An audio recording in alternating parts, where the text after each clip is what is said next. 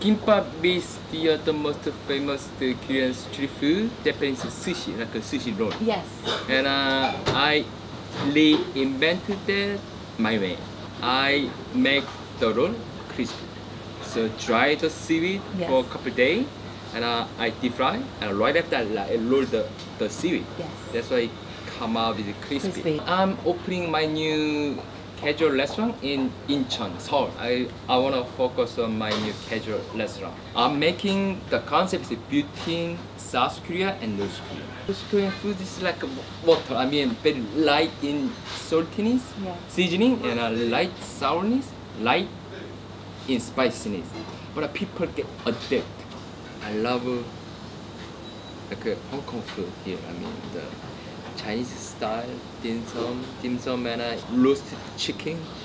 And uh, you know restaurant Golden Leaf in Conrad Hotel. They serving the best roast chicken in the whole world.